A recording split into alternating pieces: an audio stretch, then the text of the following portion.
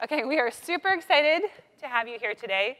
Uh, we are the panel with the Bay Area Impact Challenge finalists, and we'll talk in a minute about what that means. Um, but first, we really want to get to know our audience. It helps the panelists know a little bit about who's in the room. So if you can raise your hand if you live within a 1,000 miles of the Moscone Center. Wait, a 1,000 was too big. 100 miles. okay, great. How many came from somewhere outside of the US? Great. How many currently work at a nonprofit? Okay, great. We have, looks like three plus a panelist. Wait a minute. um, how many volunteer at a nonprofit? Okay, cool. Um, how many people think their team's going to win the World Cup? Really? Shout out your country. What are you guys? America.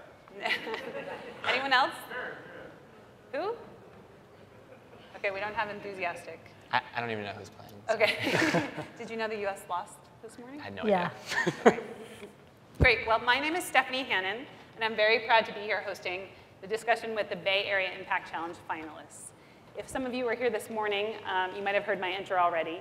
I'm the director of product for a team called Social Impact, and it's a really unique, awesome place to work at at Google.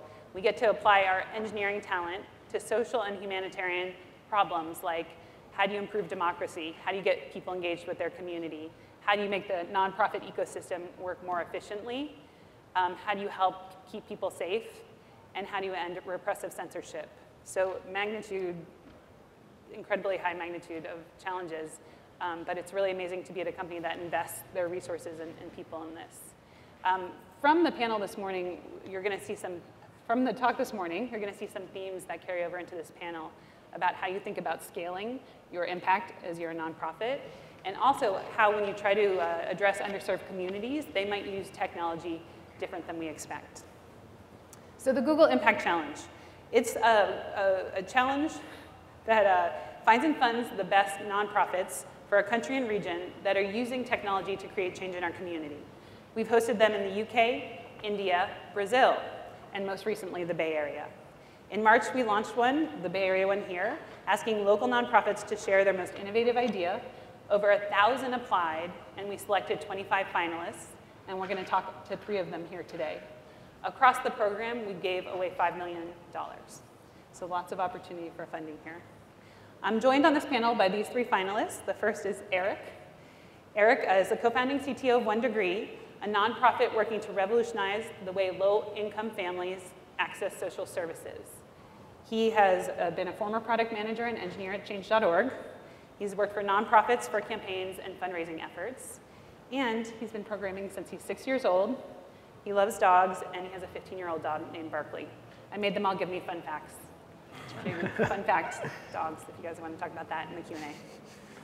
Susan is the CEO and founder of Hack the Hood, a nonprofit addressing digital equity by training low-income kids to create websites for local small businesses, actively supporting them to launch their tech careers. She's a former tech executive. She was a VP at Netscape and AOL and a senior product director at Yahoo. And her fun fact is that she's an active permaculturist. And it took me a while to learn how to say that. permaculturist. Okay, Stefan is a founding member of the Technology Advisory Board for Beyond 12, a nonprofit created to increase the number of traditionally underserved students who earn a college degree.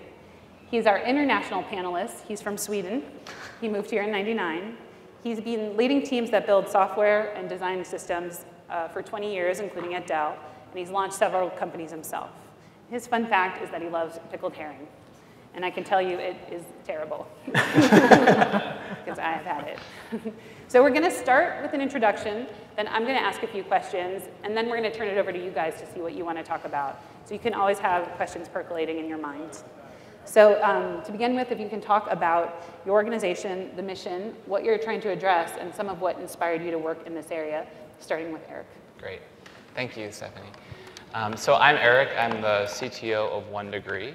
And um, let's start with a little background about something you already probably know about. Uh, it's really easy to find the best burrito in the mission.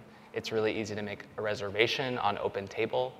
But low-income families don't have the same sorts of tools to easily and quickly find the services that they need that can help them improve their lives. and so, for example, we're building, well, we've built One Degree for Angela. And Angela is a low-income teenager living in San Francisco's outer Sunset neighborhood. And uh, Angela's family is low income. Her parents didn't go to college. Um, and they just don't know uh, where to send her or they don't have any recommendations for her in terms of gaining valuable college experience. So Angela used One Degree to find a summer program that is specifically geared towards her, under-resourced teenagers living in the Bay Area, to help them gain college experience or work experience to make them more competitive for college.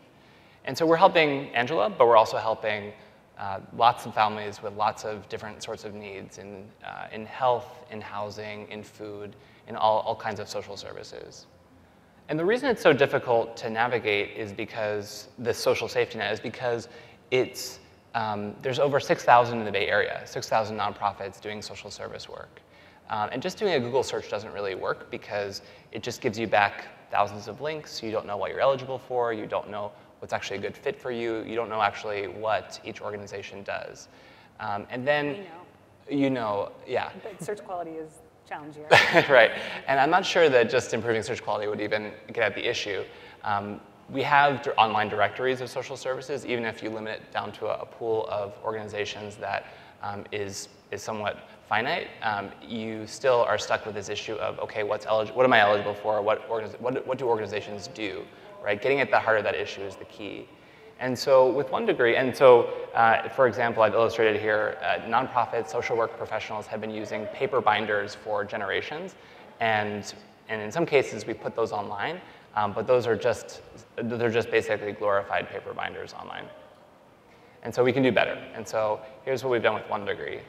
Um, we've created um, a, a website that helps you find really specific, actionable information that we call opportunities. So when you search on One Degree, we don't just give you back the organization, we give you back the thing that you can do. So for instance, uh, get job training for adults, or get a free hot meal on Thursday evenings at this location at this time. Um, and then the second thing that we do with One Degree is we help you manage those resources, the, the things that, uh, that, that you think will help you. And so we keep track of those in a list. We send you personalized recommendations. And then we're um, extremely metrics driven and we, we are able to track what's relevant to you and what you, what you, take, uh, what you take action on. And then the final thing we do is share. We share, we help people share the experiences that they have with social services um, so that the community can improve uh, overall and that other people can know what are the best resources out there and what are the best services uh, that might improve, help them improve their lives as well. And so that, in a nutshell, is what One Degree is, and I look forward to answering questions. I just, I'm really curious about the eligibility thing. You might have said this, but do you work directly with nonprofits to figure that out? Because it's not published in a clear way a lot of times. Yeah, absolutely. So we, um, we do work with a lot of nonprofits, um, and, I, and I can get to that a little bit more in terms of uh, as a way to do outreach to people. But we've taken a really specific approach to um, working with uh, individuals directly. So we do work with nonprofits uh, in some cases to make sure their information is correct in one degree to, to, to really uh, surface and highlight that eligibility information. Um, but nonprofits are not necessarily, solving the enrollment and intake process is not necessarily where we're starting from. Okay. Maybe one day. Great, thanks Eric. Mm-hmm. So Susan, tell us about Hack the Hood. Sure. Hi everybody. I moved to Oakland from Silicon Valley in 2008. And in the past couple of years, the number of tech buses going through the streets picking up people to take them to San Francisco or Mountain View has really risen. And one of the things that I came to realize is that there are a lot of people who live in cities like Oakland who feel like they're never going to be able to get on those buses. They feel very shut out. They don't have the education or the relationships to get them jobs in technology. And they don't really know how to get them, and there's a lot of hopelessness and a lot of frustration. We started Hack the Hood as a program that could work with low-income youth of color in Oakland and cities like it, teach them really basic web development skills, search engine optimization, how to list businesses in Google local places, maps, and directories. And we take those skills and the kids go out and get local businesses online and help bridge the uh, economic divide by making people who might not show up in a search on a map suddenly appear when you're looking for them on your mobile phone. The kids are doing real world hands-on learning, and once they kind of have some of that under their belt, we take them to companies like Google and Facebook and to small startups where they can meet people of color who are working in tech careers and understand that there are so many different kinds of jobs that they could train to be qualified for. It's a pretty impactful program, but it's also a very young program. And it's a program that's very much made in partnership. We collaborate with the City of Oakland, who is our first funder. We work with all kinds of chambers of commerce and business improvement districts, neighborhood associations, merchant groups. Volunteers block walk to help collect merchant data from people who don't have easy web access. And it's really kind of, you know, the village trying to come together and uh, change both the prospects for these youth of color, um, a real diversity play, but also really help these low-income businesses. So as a winner of the Google Impact Challenge, this is a very exciting time for us because we now have the capability to expand, and we want to expand into the greater Bay Area and over the next two years reach 5,000 youth and as, as, as many as 25,000 businesses through our program. So if you're interested in learning more, um, I'd love to talk to you more. Thanks. Susan, you clearly have such a passion for Oakland, but I know you're not a Bay Area native. Can I ask how you made it your home? I'm one of those people who moved to Oakland because I came from Brooklyn. Um, I moved from New York to Silicon Valley to work at AOL Netscape back in 2000 and always thought I would like Oakland but didn't want to make the commute. And then when I started doing my own startups, I had a Techstars company that crashed. I moved to Oakland because it was cheap and I thought I would like it. And I kind of fell in love with the city. Wonderful, thank you. Yeah. Stefan. Yeah, um, thanks. Uh, it's great being here. Thanks, thanks everybody for joining. I know it's late in the day. Um, so by way of introduction, I want to share with you a, a statistic that I think is pretty startling. Uh, when you look at the US today, only 8% of kids from a low income background can be expected to earn a college degree by their mid 20s. That's in stark contrast to 82% of kids from a higher income background. So if you just think of that gap for a second, like think of the lost potential that that represents, that's the issue that we're trying to solve at Beyond 12, and that's the space that, that we work in.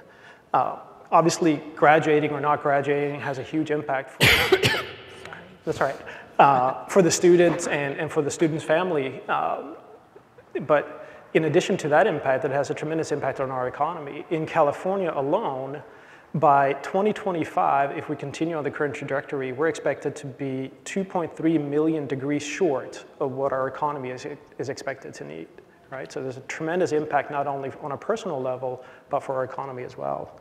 So what Beyond 12 does is that we've uh, created a, a, a set of services and a set of tools that, that we use to try to bridge this gap, right? Um, and when we look at uh, the data and the service gap that exists, what we find is that we really have a broken system. We have a, an educational pipeline where high schools don't talk to colleges, when we have no way to actually track what's happening to our kids through that pipeline, right? And the impact of that is that our kids are falling through the cracks. The impact is that our kids aren't graduating, as the data clearly tells us. And what we're trying to do is kind of bridge that gap and help high schools and colleges provide the, the academic, the social, the emotional support to these kids, make sure that they're able to actually graduate, right? Um, and fundamentally, so what we do at Beyond 12, we do three things. We track kids.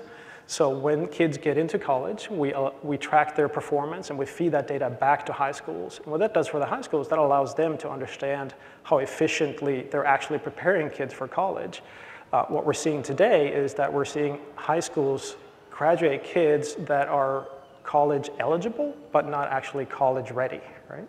So we track kids, we connect kids, we connect kids to, uh, to other students on campus, to important campus resources that's gonna help them be successful. Uh, and then last but not least, we coach kids. So for our low-income freshmen, we provide a personal coach for the first two years of college, allowing them the support system that they need to be able to be successful. Uh, we believe obviously that this has a tremendous impact and potential for a tremendous impact on, on the kids that we are able to work with directly, but equally as important, we're able to have a systemic impact both on the high schools from which our kids are coming and the colleges that they're enrolling in and that they're currently attending.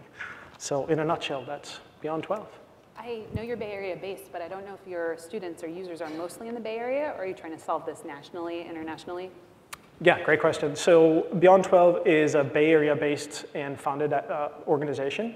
We do operate on a national level today. So we do. We actually have a mi minimal office in Atlanta as well, but we're a national organization. So we support kids who come from school systems across the country. Great, thank you. Does anyone know what that clapping is outside? Is it? There's a comedy show next door? and you guys chose to be here with us? Yeah, that deserves a round of applause. That's amazing. We're going to make them jealous. That's what's about to happen here. Okay, so we are at a developer conference, and these people in the room are probably amazing technology, technologists. So I'd like to talk a little bit about how you're using technology to address your issue, and maybe talk about what's unique in your approach, starting with Susan. Sure. Does anybody know teenagers in big cities who don't have smartphones? Everybody who comes into our program has a smartphone, but most of the youth that we work with think of themselves as consumers of technology, not as producers of technology. To them, uh, the kind of apps that we look at every day are kind of a black box, and they're the, they're the audience for it. So part of what we're trying to do is change the equation and teach kids how they can use basic web tools to become producers. So what we start off with is very simple. It's really the Google App Suite and tools like Weebly that are drag and drop um, website builders. But we use that as a gateway to make them feel successful, make them interested in other kinds of programming. So we have a mentor program. We have a lot of local programmers from Oakland and the Bay Area who really want to help our kids understand all the different kinds of programming languages, the different kinds of backend systems you can work with, what APIs are, um, what's, a, what's a code review, you know, and uh, help them kind of get from our program, which is a feeder, into deeper kinds of involvement with other kinds of tech. So we look at ourselves as a great place to start. We want to help move them along the way, whether it's to a certificate in project management or it's actually um, starting to study you know, a serious programming language and get the skills to work in the industry. Great, thank you. Sure. I'm going to ask the same question of Eric about one degree. Yeah, uh, it's a great question. Um, you know, there are online directories that exist. Google exists as a, as a search engine. Uh, there's also a pretty well-known directory called 211. I don't know if anyone here has heard of it. It's, it's basically an online directory of social services. There are other directories out there, um, and they're mostly geared towards social work professionals. I sort of alluded to this in the intro, but they're geared towards people who already know how to navigate, who know sort of, they can see an organization kind of already tell you a little bit about what, what that might be, uh, how that might benefit you. And so what we did with One Degree was take a very unique approach, which, which was to create a, a user-aligned consumer web product um, and eventually smartphone apps uh, for, um, for help seekers themselves, not for the intermediary, not for the caseworker or the social worker. Um, and so that's, that's the big differentiator. And we, the way we do that is, or one of the ways in which we, we get at that is, besides just having like, very high quality, we, we hope high quality, engaging experiences, but it's also part of the, the content that we serve. Um, and so I, we sort of saw that in the, um, in the intro slide, but um, it's, uh, we get at that through, instead of showing you information like if you were searching for help with a pregnancy or a pregnancy test, rather than giving you back the organization, St. Anthony Foundation, we would give you back Get a Pregnancy Test. Um, and and it's okay. And here's how and here's and here's where to go, and here's when to do it. Uh, and in this case, what the next steps to take are, and in this case, it would be to go to the clinic during office hours or to, during clinic hours. And so we, we, we give you really specific information that's geared towards consumers and not yeah. professionals it's really nice to hear you articulate who you're trying to help so clearly, the mm-hmm. help seeker, mm-hmm. because I think that's something we all struggle with, mm-hmm. is defining the user. Yeah, and absolutely. And that isn't to say that there's not, um, there's not a place at one degree uh, for professionals, nonprofit professionals, and social work professionals, and there absolutely uh, is. And, and in fact, a lot, we have a, a large uh, user base of people in local nonprofits using one degree, but it's, and it's hopefully growing, but uh, it's, they're using it as, a, as something um, that they can use along with their clients um, because the content is so ready for their clients. It doesn't need to be translated, it doesn't need to be, uh, you know, it doesn't need to be sort of uh, put into, into layman's terms. Um, it, it's, already, it's already ready for help seekers. Great. And Susan, I this morning just whapped my microphone like a thousand times. It's what I, I'm trying not to do it anymore, but it's amazing. Um, Stefan, I'd like to ask you a different question. Um, now I can see that I might have screwed that up. That's all right. But Eric did a great answer. So Yeah. I'm just going to ask you the same question. Can you talk about how you're using technology to address your issue? Sure, yeah. Um, let's stick to the script, right? Um, so I think, I only have one job. So far, so good, right? no, I think Eric, Eric did a great job. So um, when we look at, if you think back to our model, one of the key components of our model is the, the coaching model, right? So um, the, the coach that we provide to our low-income freshmen for the first two years of their college experience. Um, it's a great model. We know that it works. Uh, data tells us that it works, but by definition, it's not. It's a high-touch model, and so therefore it doesn't scale very well, right? So um, even if we would like to, it's not really realistic for us to try to provide that model or that coach to every kid in the U.S. who might actually need it. So what we're and the kids that we work with, the, in, by way of background, oftentimes they're the first kids in their family or their circle of friends, or sometimes even their community that go to college. So they don't have that kind of social network and social support, support network and support system that maybe you enjoyed or I enjoyed or you guys in the audience enjoyed. Um, you know, parents who went to college and can prepare you for what that experience is going to be like. Um, and there's a lot of stuff that you need to understand. There's a lot of, uh, there's a stark difference in your, uh, in the academic requirements, academic deadlines, things to think about from kind of uh, the, the skills and, and behaviors that you need to pick up. So it's this big hairy problem. Um, so what, we, what we're doing with, with help from Google is that we're creating the My Coach app. And what that does, or what we're trying to do with that, is kind of take this big hairy problem and synthesize it down into actionable items, things that uh, students can take action on, deadlines that they can work towards, um, skills that they can acquire, uh, behaviors that they can learn that's going to ultimately allow them to be successful in college. Uh, and by, by doing that, what we're doing is we're essentially creating a, a virtual coach and, per, and are, we're able to provide that proven coaching model to um, a scale of students, right? So a critical mass of students that, that really need it. So super excited about that. And then of course on, on the back end, we're we have an analytics system that allows us to track how well those kids are doing compared to the kids who are receiving the, the personal coaching model and also what parts of the application or that experience actually works, what we need to double down on and what we need to, you know, maybe jettison on and, and get better at. Great, thank you so much. No problem. So Eric, I would love to share some of your learnings with this audience. What are some misconceptions developers might have when they develop for users like yours? It's a great question that we've amply prepared for. Yeah, we just thought of that. so, uh, it's, so we actually have a lot of misconceptions that we face. Um, and um, one of the, the biggest uh, is, and I'll let you on, I'll, I'll let you in on like a little bit of a, a secret in the tech industry, which is that uh, poor people use the internet. And we actually have these slides that I've prepared. Um, and you can see that about 50% of low-income families access the internet somewhere. So that's already, that's already um, a, pretty, a pretty high volume of people who we know are in this market. And then we also know that a large percentage of low-income families or low-income individuals have smartphones. So about, I think it's about 47% of of individuals uh, under, 49 uh, uh, under 49 years of age have a smartphone. And then that, that number jumps to 77% when we talk about under 29 years old. So we're talking about a huge market of people who are low income, who have smartphones, who are digital ready, um, and who don't have tech products that are built for them. And so, um, or in this, in this sense. And so I think um, I think those are, those are two major misconceptions about, about access.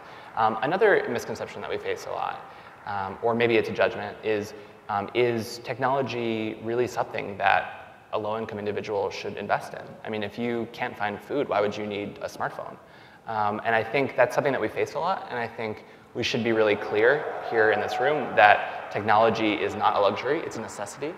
Um, technology, we use our smartphone, we use the internet to access government services, to apply for jobs, to manage our bank accounts, to pay bills, um, to learn. Um, it's a necessity in today's world. And so I, I think that's, uh, that's another big thing that, that, we, uh, that we face a lot in terms of misconceptions.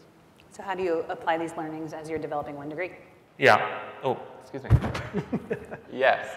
Uh, these are great, yeah, these are great questions. Um, uh, I would say um, we take, we take um, we, we, start from a perspective that technology is a really important tool, um, and we, we want to build first-class um, first-class technology, first-class class web experiences because it's so critical. It's not a nice to have. It's not sort of like a let's build a, a cool user experience for, for user experience sake. Um, it's a necessity because it's already really difficult to find help. It's already really difficult to get the resources that, that some families need. Um, and so it's a requirement that, that we build uh, excellent experiences for them so that um, not only is it because they should be excellent for everybody, right? um, regardless of your income level, um, but also because it, it, makes it easier to actually get help. So. Thank you. Mm -hmm. So, Stefan, I'd like to ask you about the major pitfalls with regard to technology and social change. I'm sure it's something we can all comment on, but have you experienced it?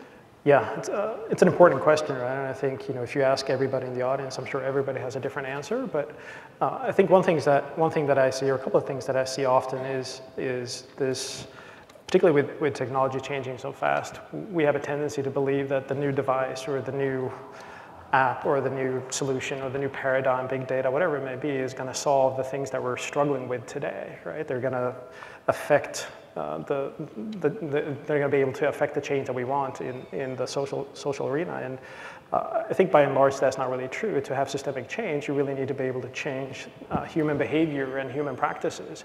And in order to do that, we need to, to kind of bring, bring to the table the, the folks who, who we're trying to solve for, right? So similar to what Eric is doing, right? Really understand what their lives are, are about and really understand how they're using technology or they're using devices or apps, et cetera, and kind of get at their problems through those channels, right? And too often we work around these groups. Too often we're not putting them at the center of, of what we're creating. And we're kind of sit and we congratulate ourselves on how smart we are and how, how nice we are to help all these, all these wonderful people out there who need our help, but we're not bringing them in and we're not putting them at the center of what we're creating. And I think that's super important. And that's the only way that we're going to be able to get systemic change if they're part of the process, if they have a voice, a strong voice, uh, that allows them to feel like they have agency in what we're creating. So I think those are some of the things that I see as, as challenges with technology affecting social change. I just want to add that I think that user-centered design is a principle that it's really important to work with with low-income communities and that the best apps and the best tools are developed in partnership with the people that they serve. And we've learned some really funny things when we first started working on this project.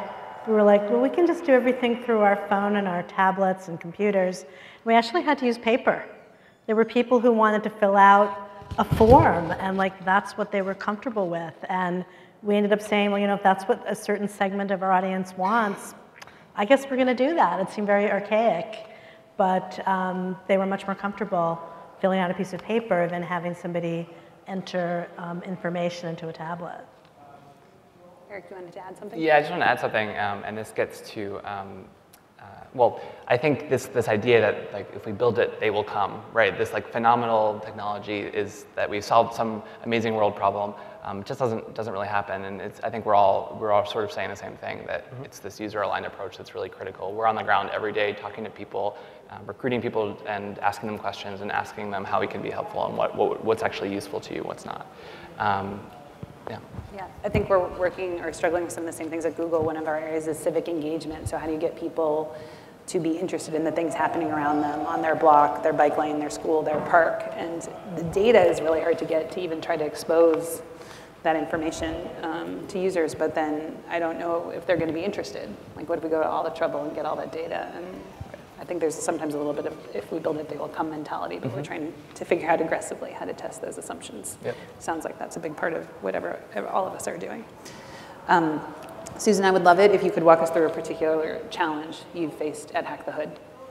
Sure. Um, one of the challenges we face at Hack the Hood is just how thin the margin is that a lot of our young people are on financially. We were very proud of the idea that we were building this virtuous circle where we could train kids, the kids work with businesses, and then we would help them get more training and more education. Um, but our first full program was last year, and I had a very sobering moment about January when I discovered that of three of the youth who had enrolled in college who hadn't planned to go, two of them had dropped out. Um, one was a girl who got pregnant, and the other dropped out to support a family member who needed help because she was the only person in her family who could get a full-time job. So here was one of the best students in our program, incredibly bright, working as an assistant manager at McDonald's for $8.75 an hour. And I felt like we'd really sort of failed her because we didn't really understand that kind of getting her to college, getting a loan to pay for school wasn't really enough. And it made us really change our program. We kind of stepped back and said, you know, how do we provide better support beyond the actual boot camp that we're doing, not only to get them internships and job placements, but in general. And what we did is we reached out to the community colleges, and now this year, we're going to say things to kids like, wow, you're really good at logistics. You could go to Samuel Merritt College and get a degree in project management. And there are certificate programs that we could get them into where if they are working, they could make 15 or $20 an hour and be able to continue their education. So that was hard to see that um, the safety net was so thin and that we really needed to do a lot more to, to make them successful. Great. Thanks for sharing that story. Eric, do you have a case study that I you could share with us? Yeah, I do. One of your Um, challenges? Yeah, and this is um, this goes back to actually what we were just talking about in terms of user-centered design. Um, in that, um, so before you know, this is the this is something that every sort of product person faces is um, is you know how uh, before you have anything off the ground is how complex do you make the minimum viable product. And so before we started, we um, did a, a bunch of user interviews or potential user interviews with people who we thought might be our target audience. So um, I remember really distinctly talking to one mom who really made me realize something, which was that a lot of low-income families have, or low-income, low-income individuals who have smartphones, those, that segment that we were talking about earlier, which is quite sizable, um, use smartphones, um, have them and use them on a regular basis, but don't use email. And so that made us realize that to require email for signing up for our service, that, was, that, would, not be, uh, that would be a non-starter for a lot of people. And it was really important to us to be able to serve a wider market and include these people into, um, into our, our membership at one degree. So we, um, we decided from the get-go, although it, it definitely adds some complexity to, um, to a site just starting out, uh, we decided to accept registration through, with either email or or a phone number, and then with those people, we communicate with them over SMS instead of email. Um, and so that, you know, it's just like a decision that you, that you have to make when you realize that the thing that you have in your head is not quite aligned with what everyone else, or what, you know, the people that you actually want to serve have in mind. And as we talked about when we met as a Gmail PM, it's Yeah. hard to hear. Right, I'll move to doesn't use free- email, right? Yeah, But I understand it's the reality. yeah. Um, Susan, I'm going to go back to you for a second. I think I didn't give you a chance to say what those learnings with those three students, how did it impact you? It, it was one of those teachable moments when you realize that, as well intentioned as you are, you really need to do more. And I know a lot more about uh, certificates and continuing education certification now than I did at this time last year. And I realize how important those kinds of relationships are, where we can really pass these students to people who will help them um, get situated in a way where they can be successful. So it, it takes an investment, but um, some of the kids we worked with who I'm describing are coming back to work with us this summer, and I'm kind of really committed to making sure that they don't end up in this situation again. Great, thank you. And just a few more questions from me, and then I want to remind you, we're going to invite you guys to ask questions. It can be about the content of their work, their careers, why they do what they do, or even being a part of the Bay Area Impact Challenge, what that experience was like. Um, so be thinking. Um, Stefan, I'd like to go back to you and say, what can nonprofits learn from developers, and what can developers learn from nonprofits? Seems appropriate for this audience. Yeah.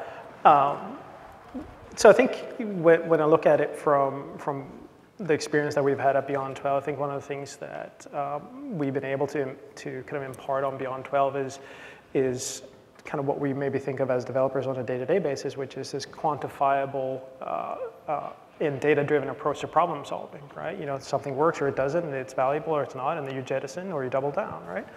Um, and Whereas in, in, at least in our case, and I think in the nonprofit sector in general, it's easy to kind of get focused on an individual or a community of individual and not think about how do you bring it to scale, how do you optimize, how do you kind of find ways to, to kind of provide the services and the help that you want to provide to a larger group of people that, that really need it. So I think that's something that, that we've been able to learn from the developer community at Beyond 12 and uh, vice versa. I think as I try to help Beyond 12 scale their services, uh, we talked about the coaching model and, and, and, how we're trying to scale that through the My Coach application. Uh, you know, I do a lot of things to try to streamline and optimize and make sure that it, it kind of gets to as many people as possible. And it's easy in that process to make generalizations. It's easy to forget that behind all the things that you're working on, there's a real person. There's a young woman trying to go to college and trying to graduate, and they're trying to navigate FAFSA applications and drop or add, add deadlines and so on and so forth, right? And you can't forget that as you, as you try your best to optimize and bring it to scale. You got to remember that there's somebody who's maybe even their entire family's hopes and dreams are on that person's shoulder, and they're just trying to get through the next semester, right? Um, and so I come back to something that I think has been a recurring theme here, which is the you know, technology is not enough, right? It's not just about the app, it's not just about the, the coach, or it's not, it, it, there's a human factor to all of these things that really have to be addressed and thought about and considered in everything that we do. Yeah, it's very impressive across all of your stories how deeply you guys have invested in understanding your users and the human element. So Eric, I'd love to ask you, how can developers be useful? If people are sitting here, they're inspired, they want to get involved, how can they contribute their skills in the mm-hmm. current ecosystem? Yeah, and just to echo what Stefan just said about uh, that, that, is, that goes with this is that, um, you know, apps are a dime a dozen. It's not, you know, it's like you can create an app, that's great.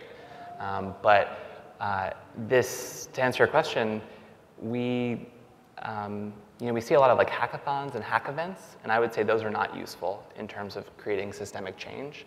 Um, and I think using, uh, think about it this way, you, know, you have a problem that you're trying to solve at work. Think about the hardest problem that you have at your job right now. You know, an intractable problem that, you, that, that will take you, you know, weeks, months, maybe years to solve. Um, and then having somebody come in and say, you know what, I'm gonna spend 24 and 48 hours on it, and then I'm gonna, I'm gonna create an app and solve your problem and then walk away, right? Like, you just wouldn't take it that seriously. And I think that's sort of, that's what, sort of what goes on at hackathons when they're for social good, and I think the intention is there, but the impact is not. And I think if you want to help as a developer, the best thing to do is plug into an existing organization that is doing something, uh, doing something that you respect and you admire and you think is a really important thing, and ask them how you can be helpful in, in helping them build an infrastructure that is sustainable and maintainable. The worst thing to do is create something and walk away, and no one's, no one's there to maintain it. So, Great. yeah, Thanks for sharing advice. that insight. I think it's sure. unique since hacking, especially civic hacking, are, are very hot. Um, Susan, the last question to you. Same, how can developers be useful or get involved? Well, I'm actually a huge fan of civic hacking and a big admirer of organizations like Code for America. Um, and I think that there's an incredible need for developers to help with standardizing APIs and with pulling data out of government and a lot of different kinds of closed systems so that people can work with that. And um, I agree with Eric, it's kind of a black box, and if you're moved to help in that direction, people will embrace you. But I also think that there's kind of an individual role that developers can play in organizations like Hack the Hood and probably all of these organizations. Um, we need people to be mentors. We need people who made the journey into tech and who love what they do to work with young people of color who have no idea what it's like to do those jobs, what it's like to have that kind of passion, but who are really hungry to find something that they can do that's interesting and that's economically viable. So I would think about, you know, to what extent can you share yourself in a limited way with a demanding job by, you know, being a mentor, by giving a talk, by volunteering at an event, you know, find a way that you can share your passion and your experience uh, with somebody for whom you might end up being a giant influencer and help really um, move them forward into a new kind of career. Great, thank you. So I'd love to open it up for questions. There are microphones. Matthew's going over there. I see him, I called on him. But I really, this should be a conversation. So think of the hardest, toughest questions you want to ask these panelists. Go, go for it. Hello, hi. First, uh, congratulations on winning the challenge. Um, my, my question is really one I struggle with a lot in the sector, which is the trade-off between scalability and impact on a personal level, a direct level. And I think it's something where um, I think technology tends to be tied up with scalability. The reason why we think technology is a great way to enable to make more impact at scale, but it also sometimes is at odds with that person-to-person interaction and the immediacy of actually helping individuals. Like you say, sometimes you're doing something just to hack something out and make it happen and help them out versus some long-term sustainable, scalable uh, solution, which it sounds like the holy grail and often isn't uh, possible. How do you deal with that trade-off in, in, your decision, in your process? And if you have a, you put yourself on a scale of one to 100, 100% being um, 100% scalability, and if it's not scalable, I don't touch it, and zero is all I care about is helping people. And you know, really be honest, uh, the technology is very, very secondary, and or the scalability is really secondary to me. Anyone can answer. Sure, uh, I'll, I'll, take a stab. I think uh, we, we struggle with scalability. I talked about the MyCoach app and our coaching model, which is a very high touch model uh, that doesn't necessarily scale, right? And I think uh, Alex, our founder who's not here today, um, we kind of bring parity to that question, right? I'm always challenging her to jettison things that is going to not scale because it requires personal interaction or it requires a people-heavy uh, organizational model, which is really hard to sustain when you get to scale. Um, so I challenge her on, are you know, areas particularly necessarily uh, need to be there? Can we do it in a different way? Can we support something with technology? Um, so I kind of bring that voice to the conversation, and she brings the voice that I talked about earlier, which is, guess what? These kids come from a background where they don't have the support system, and a lot of times, um, I'll take a very specific example. We, ha- we had a student that was trying to get to college, and that student's parents was dissuading that person from going to college because she was going to be too far away from her family. It wasn't a financial issue, although that certainly was a struggle. It wasn't the fact that uh, they, they were concerned about her being able to, to be successful. It's like she was literally going to be too far away from her family. And these are the kids that we're trying to help, right? Uh, there are kids, and they're falling through the gaps today. So it's a constant clash in uh, I can't say that we found a solution, right? Uh, but as, as technology uh, it becomes better, as it becomes more prevalent, as um, folks, uh, as kids are able to have, have access to devices, data plans that are affordable, et cetera, we can provide better services through technology. And, but the challenge, the, the tension between being technology-centric and human-centric is always there.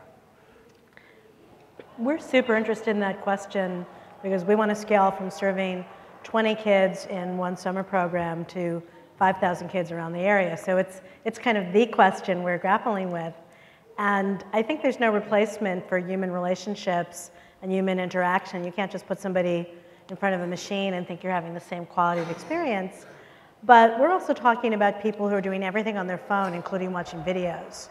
So we're very interested in the whole flip the classroom model, the idea that we can supplement the real world interaction we do with more videos and that things like Hangouts and Skyping can be supplements and good additions to real world exchange. So I think we're going to very much look at how we can use those kinds of tools to do a better job of getting people ready and having to leave behind between the um, real world human touch programming that we do. Uh, the only thing I'd add is that um, I think, I don't necessarily think there's a tension. I think, at least in our organization, we sort of, we actually talk a lot about the spectrum of users. So we talk about people who are um, really high need, who really require a high touch personal interaction, and and maybe don't have a smartphone, don't have a computer, wouldn't even wouldn't be tech savvy even if they had one. Um, and then the other side of the spectrum is a single mom working a minimum wage job, needs to find help, but knows what she's doing on her smartphone, right? So this is sort of the, the spectrum, and and you know we the ideal the ideal member of one degree is sort of like over here, but this part of the population, or this part of our sort of target market, if you will, is, is, is, is one we can reach through intermediaries, like with personal touch and with social, with, through th social workers and social work professionals. And we, we very, very specifically say we, we don't, we're not, we're not a, uh, like an automated social worker. No one, we're never going to replace social work. We're never going to replace uh, a, a, friend or a person who's going to help, or, or a case manager. Um, so it's really, um, I think we're getting at that at two at different ways, not necessarily intention, at least in our case. Thank you. Thanks, Matthew. Question over here. Yeah, um, Eric, when you were talking about uh, the discovery you guys made of email itself being kind of an impediment to some of the people you were trying to serve signing up and, and using your tools, Uh, it was kind of surprising to me. Um, you know, as, as you know, the, the organization I work with, we build tools to try to bring voting into the 21st century. Um, and we're ostensibly trying to build that for everyone. Um, but our, our sign up requires email. So mm-hmm. it occurred to me where we have that impediment to low income people using our tools. So mm-hmm. my question is are, are any of you aware of good resources or organizations or whatever um, to kind of learn about things like that? Um, either like a sort of a list of, of things like that to keep in mind when you're building tools like this or even organizations that can come in and like audit the, the technology you're building to make sure that you're that it's accessible to low income people. I don't, but if you if you find one, let me know. I mean, maybe we're. I mean, maybe this. You know. Does anyone? Well, can, can I hire you to come do that? yeah, I think. I mean, I think. I don't think that having someone from the outside come in and necessarily do an audit is going to solve the question of being user aligned. I mean, you have to, you have to, you know, obviously you know this, but um, just just to make it clear, like you have to do that that sort of interviewing and research uh, for yourself because it's going to be different for your product for our, than for ours. Um, so I think um, you know maybe in um, yeah maybe this is one case in which that would overlap, but there's going to be other stuff that is going to be really different. I think. Yeah. But maybe one of the coolest things that could come out of this panel is you, you guys all get together afterwards and decide to put together a set of resources. Yeah, that'd be awesome. Yeah. You guys connect. Thank you for the question. Thanks. Question over here. Hi, yeah, the first questioner had an interesting question about scalability of programs versus personal touch. And I run, a, a, as a side project, a community nonprofit called the Obscure Organization at obscure.org. And we have one program that's kind of a public access Unix system that is kind of deliberately not scalable. You know, you have to ask nicely for an account or you know, write, a, write a letter on paper with a self-addressed stamped envelope. There's no online sign-up form because I can't, I can't maintain a 5,000 person you know, online service in my spare time. But we had one other program that did end up scaling uh, where uh, I, I wrote and then conducted a series of classes on MIT Scratch for a local elementary school program and after school program. And I wrote up the lesson plans for this and the classroom experience reports and published these under Wikipedia compatible licensing terms.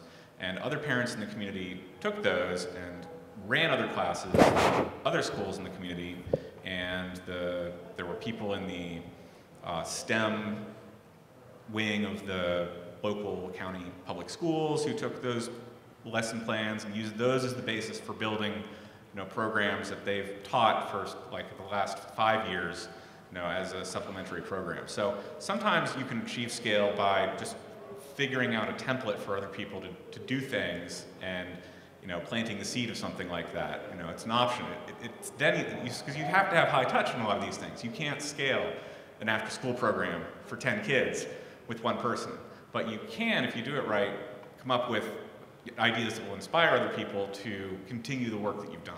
So. Amazing. So just to make sure that was an answer to Matthew's question. Just one. Perfect. I appreciate you sharing. That was really wonderful. Um, I think this will be our last question over here. Um, hi, I was actually curious for Beyond 12. You said you were feeding some of the data, like on the students you've tracked and stuff, back to mm-hmm. the schools and stuff, trying to close that communication gap between the colleges and the education, like uh, primary education. Um, have you seen or have you guys been able to help drive policy change in public education a little bit? Have you seen schools changing their curriculums or programs or, or support structures to based on the information you've been providing them and the success stories that you've had, or, or how, how's that going, I guess? Yeah, great question. So um, I guess the answer to that would be not yet. Um, so we're in year five as an organization. Our first cohort of students are about to graduate uh, and are graduating now. So um, for the high school systems that we have been working with for that period of time, we've been feeding this data back. Uh, one of the things that we don't have a ton of visibility into is how they're actually using that data and how they're consuming that. And by extension, what you're asking is, how are they taking that data and then using that to actually inform their, say, their curriculum and making changes, right? So uh, what, we're, what we're focused on right now is providing the tools for them to consume the data easily without having to uh, learn a lot about analytics or learn a lot about reporting and learn a lot about how, how to read, read the statistics, if you will. Um, and then the next stage is going to be, uh, hopefully, for us to also provide suggestions on where the areas that they could, where are the areas where they could improve, right? Uh, I, I kind of don't want to speak for, for Alex because this is really her, her area of expertise. I don't think we want to be in the business of telling uh, high schools how to make changes and what changes they should make. What we want to do is provide them with the data and help them understand the data and then let them draw their conclusions about what they need to do from a curriculum or process and, and model perspective. Great. I think as the moderator, I get to ask the last question, and you guys can choose to all answer it or just one of you can answer it. But I think coming from the Google mindset, sometimes I'm obsessed with data and metrics and what's measurable in terms of our impact. But somebody really smart I met here yesterday said to me, not everything that counts can be counted. Not everything that counts can be counted. So I wonder if you guys will talk about how you think about your impact and does it need to be measurable? Yeah. I'll, I'll take a stab at it from, from the Beyond 12 perspective. I think one of the biggest challenges that we have is there are um, very difficult or, or areas that are non-quantifiable in our interactions with our kids that tells us, that are kind of markers and signals that tells us that maybe they're not doing that great, maybe they're not able to find the support they need to be successful in college, for example, right? But they're non-quantifiable data. They're, they're not data points that show up on a report from a data feed, right? They're, they're conversational when our coaches talk to the kids and they're, you know, they're at home by themselves on a Friday night. That tells us that they haven't really created a community. They haven't kind of found that support system. These are non-quantifiable data points. We do our best to take those things and put it into our model that allows us to kind of figure out where, where kids are and where, what they're doing. But uh, like you said, not everything that counts can be counted. It's difficult, and that's one of the challenges that we're facing as we're trying to scale from a human high-touch model to uh, a technology model. How do we catch those things? How do we make sure that those things are counted somehow? We don't think that the value of human experiences can all be measured, and we know how important that is. But we're actually very data-driven because one of our axioms is if you don't know how to measure it, you may not be ready to do it. I think that it's really true that you can think about how to measure or chart just about anything. So I hate the idea of being a lean organization and being busy and feeling like you're doing, you're so busy, but what is the impact you're really having? So we think a lot about what's smart measurement and what are the measurements that we can measure that actually are viable. So one of our goals for next year is to have at least 50% of our youth, not only in education, but in some form of internship. And you know, that's not 100%, but it's a good number. And I think it's really important to come up with uh, measurements that aren't only about what people did, but ways to measure the impact. How do you tell what the impact is? And that's where you get into that human experience or that values thing that you can't necessarily attach a hard number to. Yet you have to find some, in my opinion, you have to find some equivalency or you run the risk that maybe you're just being busy and you're not actually doing everything you could. Uh, yeah, and I, I, would just echo that. I mean, I think, uh, of course, we can't measure uh, the, the whole of human uh, experience, but um, for us, it's critical. We have to measure what we do, especially as a very new organization. We, we won't get a second chance to do it if we can't measure our results or our impact. Um, we have very limited funding, um, um thankfully a bit more thanks to Google, um, but uh, we uh, you know, we're, we're, we're very new, and so we need to measure everything that we do. And if it doesn't, if, if anything that we're doing during the day doesn't uh, in some way affect our, um, the core metrics that, we're, that, we're, that we care about, then we, we, we usually don't do it. Um, not because it's not important, not because it wouldn't have some you know, ancillary benefit, but because um, as an organization, you also have to approach it with humility. We have one thing that we're going to try to do really well. We're not going to try to do all these other things really well too. Great. Well, it's been my huge honor to sit up here with the best and brightest of the Bay Area nonprofits. I am, I think, allowed to say, give you guys a sneak peek, that we're going to be launching an impact challenge in Australia next week. We have one currently underway in the UK. Uh, the application's already closed, but voting will happen soon. And we hope to be able to bring them to many more places and be wonderful, amazing if we saw some of your work in there someday too. So thanks for being here and enjoy the last few minutes of I.O.